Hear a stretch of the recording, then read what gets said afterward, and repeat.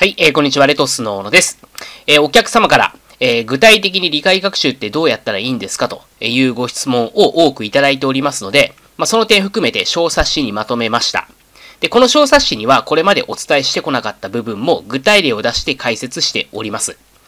えそして今回、え今日と明日の2日間限定で無料でプレゼントいたします。え今年絶対合格したいと思っている方はお気軽にご請求ください。で、ご請求の方法なんですけれども、こちらが本日の3問の、え弊社のサイトで、えこの下ですね、こちらの小冊子を無料でもらう、えこちらをクリックしていただく形になります。で、え、スマホだとこんな感じですかね。スマホだとこんな感じで小冊子を無料でもらう。クリックしていただいて、えこちら入力していただき、え確認ボタン下にありますので、そちらを押していただければ、ここに入力していただいた郵送先に小冊子を郵送させていただきます。まあ、無料なんで、もし、え、今年絶対合格したい、また、えー、実績あるですね、勉強法を知りたいという方は、お気軽にご請求ください。そして YouTube ご覧いただいている方は、YouTube の下の概要欄の方に、えこちらの URL え貼っておきますので、そちらからこのページに飛んでいただいてご請求いただければと思います。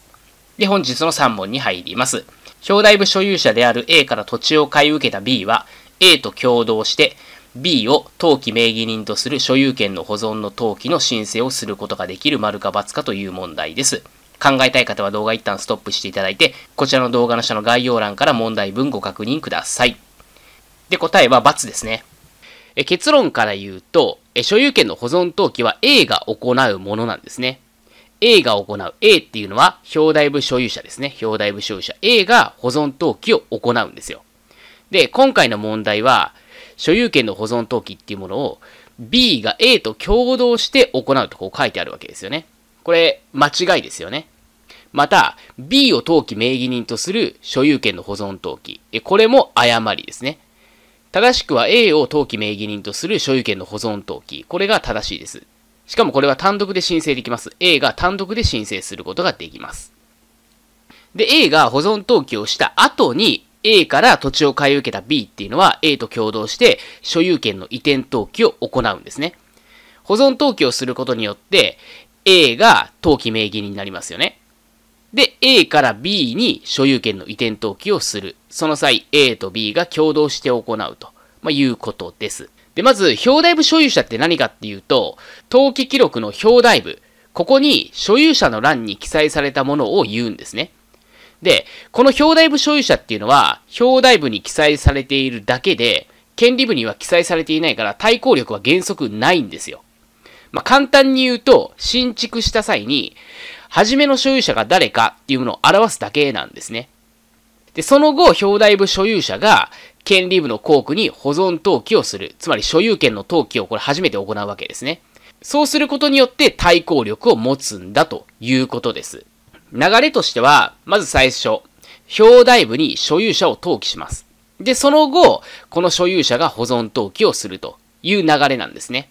で、その後この保存登記をした人が、まあ人にね、売るっていうのであれば、飼い主に対して所有権の移転登記をするといった流れになります。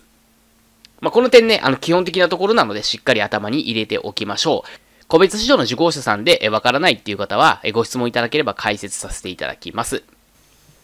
で、問いにですね、個人 A について、かつて破産手続き開始の決定があり、現在は復権を得ているが、復権を得た日から5年を経過していない場合、A は免許を受けることができない、丸か×かという問題です。これ答え×ですね。復権を得た日から5年経過していなくても免許を受けることできます。だから×です。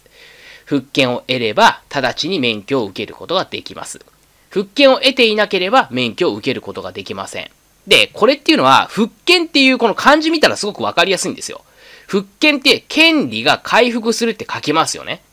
つまり、復権を得た時点で、もう権利が回復するんです。免許を受ける権利が回復するんですね。だから、もう5年待つ必要はないということなんですよ。言葉の意味が分かれば、覚えるまでもない問題なんですよね。だから私自身も別にこれ覚えているというよりも、復権って権利もうね、回復してるから、いつでも免許を受けれるじゃないのっていう形でもう答えを導いちゃってるんですよ。で多くの方が復権を得たらすぐに免許を受けることができるって覚えるんですけども、覚えるというよりも、この、まあ、復見のこの漢字からね、想像できれば、覚えるまでもないのかなって私は思います。で、問い3ですね。A が所有する市街化区域内の面積2000平米の一段の土地を B が A に対して有する金銭債権の担保として当該土地について大仏弁済の予約を行おうとする場合には事後届出をする必要はない丸か×かという問題ですね。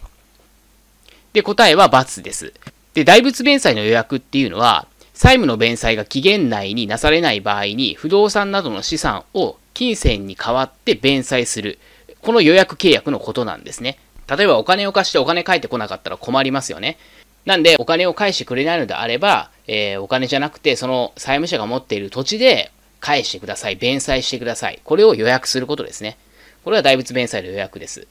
で、そもそも、え届け出が必要な条件の一つ、まあ、これ国土利用計画法の届け出ですね。事後届け出とか事前届け出。これが必要な条件の一つに、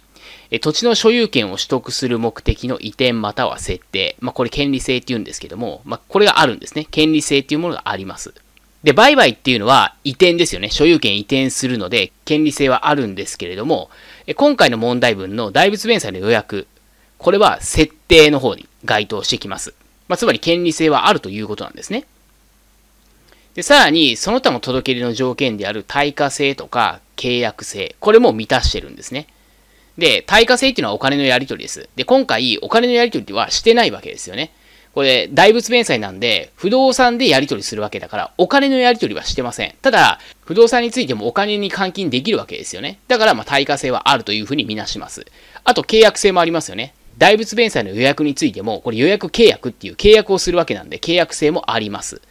したがって、面積要件を満たしたら、これ事後届で、事前届で必要になってくるんですね。で、今回市街化区域だから2000平米以上だったら届け出が必要ですよね。で、これ面積要件も満たします。だから事故届出は必要ですと。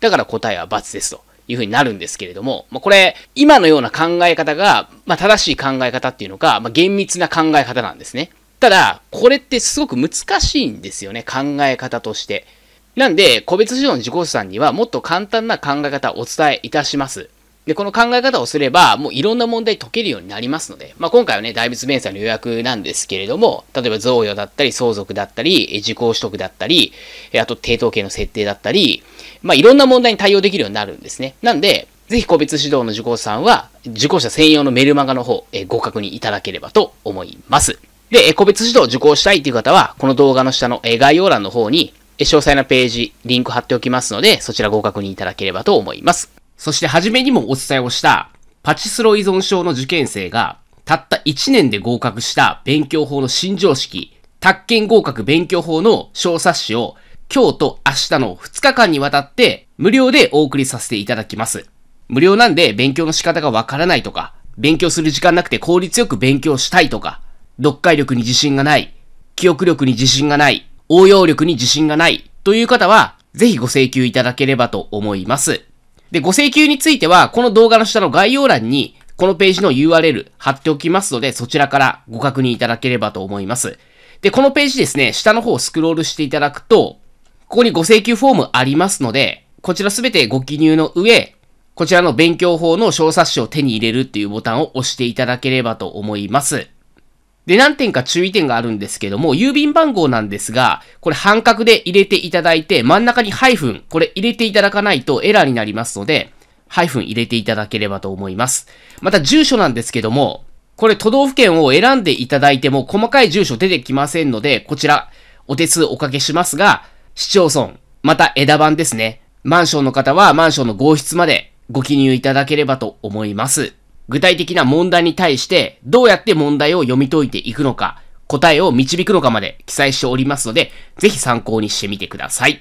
あなたのご請求をお待ちしております。レトスの小野でした。